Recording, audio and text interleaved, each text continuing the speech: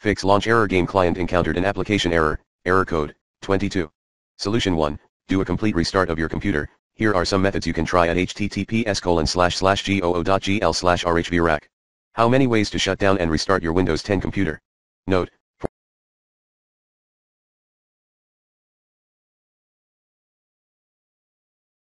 Windows 10 users, you may need to disable the fast startup first, here's how at https colon slash slash goo.gl slash bhckni.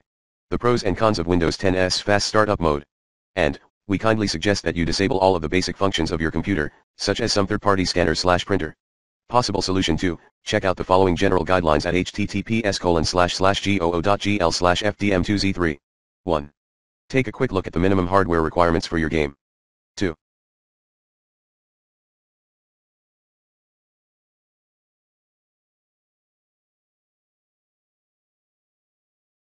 Check if you have a 64-bit Windows-based operating system. Note, if you purchase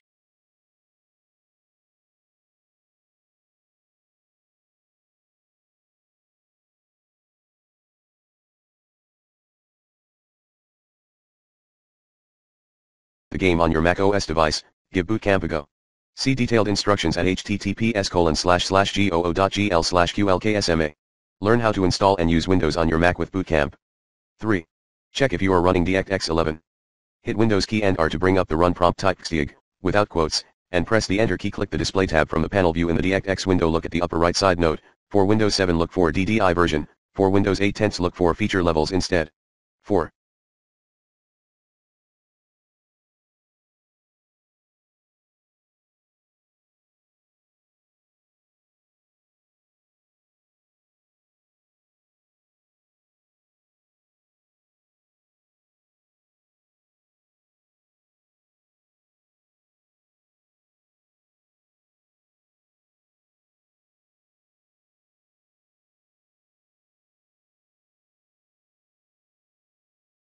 Updating both your Windows and hardware drivers. Note, for note,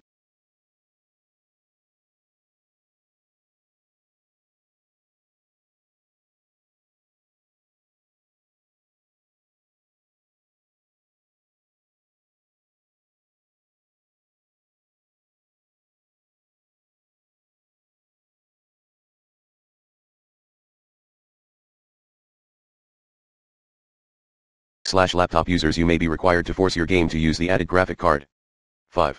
Verify the integrity of your game cache files. 6. Remove and reinstall some commonly buggy dependencies for your game.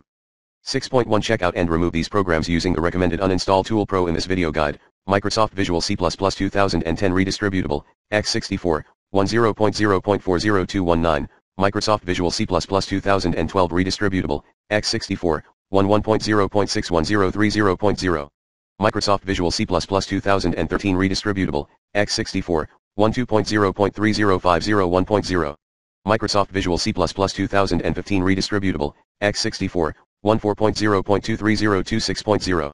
Note, the version numbers may vary. 6.2 Restart your computer.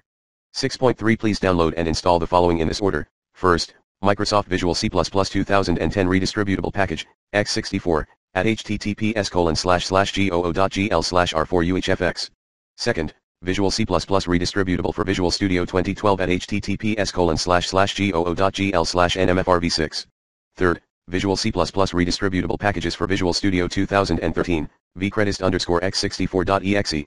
Only, at http colon slash slash bit.ly slash 2ujpzpv. Fourth, Visual C++ redistributable for Visual Studio 2015, vc underscore redist.x64.exe. Only, at https colon slash slash goo.gl slash g1e1j. Also, reinstall DirectX at https colon slash slash goo.gl slash z7geds for your system. Now, navigate to backslash steam backslash steam apps backslash common backslash your game name here backslash underscore common redis backslash DirectX backslash June 2010 backslash and run the file called xatuk.exe. Or simply xatuk. Refer to the below image. Restart your computer. 7.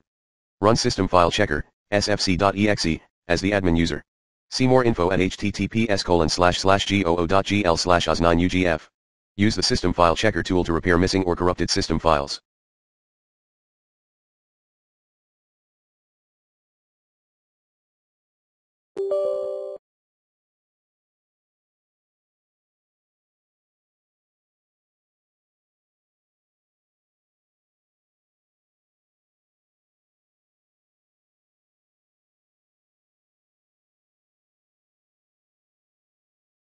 Disable Steam Overlay. Navigate to your Steam library. Right-click Dash Properties on the game you were trying to play. Uncheck Enable the Steam Overlay while in-game. 9. Run your game in the compatibility mode. Go to backslash Steam backslash Steam Apps backslash Common backslash your game here. Right-click Properties on deadbydaylight.exe. Click the Compatibility tab. Check the Run this program in compatibility mode for. Select Windows 8 7 Vista slash XP. 10. Perform the clean boot to disable software that interfere with your system network or ports. Note, Windows Defender is also known to cause matchmaking issues. Consider disabling it or replacing it with more suitable alternatives. 11.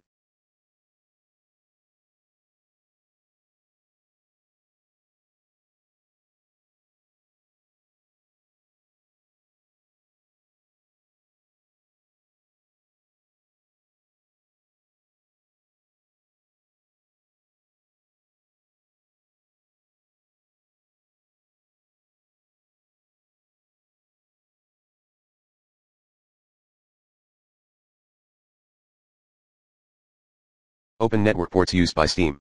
Hint, you may configure your security program and slash or router. Steam client, UDP 27000 to 27015 inclusive, game client traffic, UDP 27015 to 27030 inclusive, typically matchmaking and HLTV, TCP 27014 to 27050 inclusive, Steam downloads, UDP 27031 and 27036, incoming, for in-home streaming, TS and 36 and 27037, incoming, for in-home streaming, UDP 4380. Steamworks P2P networking and Steam voice chat, UDP 3478, outbound, UDP 4379, outbound, UDP 4380, outbound. See more at https colon slash slash goo.gl slash 5gpblz. Required ports for Steam. 12. Fix connection issues by running these commands as the admin user. IP protocol configuration slash release IP protocol configuration slash renew IP protocol configuration slash flush and then reinstall easy anti-cheat as the admin user. Restart your computer later. 13.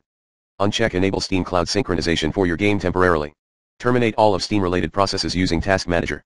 Backup and delete the contents of the folder at c colon backslash program files, x86, backslash steam backslash user data backslash, your unique ID, backslash 381210, or similar in your installation directory for Steam. Hint, it should be a file called remote cache and a folder called remote. Recheck enable Steam Cloud synchronization for your game. Exit Steam, rerun it and launch your game. 14. Run the following commands, one at a time, as the admin user, ddet.exe. Set test signing off ddet.exe set nointegrity checks off restart your computer. See more info at https colon slash slash goo.gl slash x283. Easy anti-cheat cannot run if driver signature enforcement has been disabled. 15 other voices on the web, 1. Remove third-party security program using the recommended uninstall tool pro in this video guide. 2. Remove Easy Anti-Cheat, using the recommended uninstall tool pro in this video guide. Then verify the cache for your game. 3. Try updating your graphic driver. 4. Check if your antivirus removed slash quarantined any Steam related file, such as the rungame.exe. Is so, restore and trust that item manually. 4. Back up your personal data, reset slash restore or reinstall your Windows. 5. Try to launch the Steam agent as administrator. If the above info doesn't work for you however, then please do reach out to their team of support tech so they can help troubleshoot this with you further.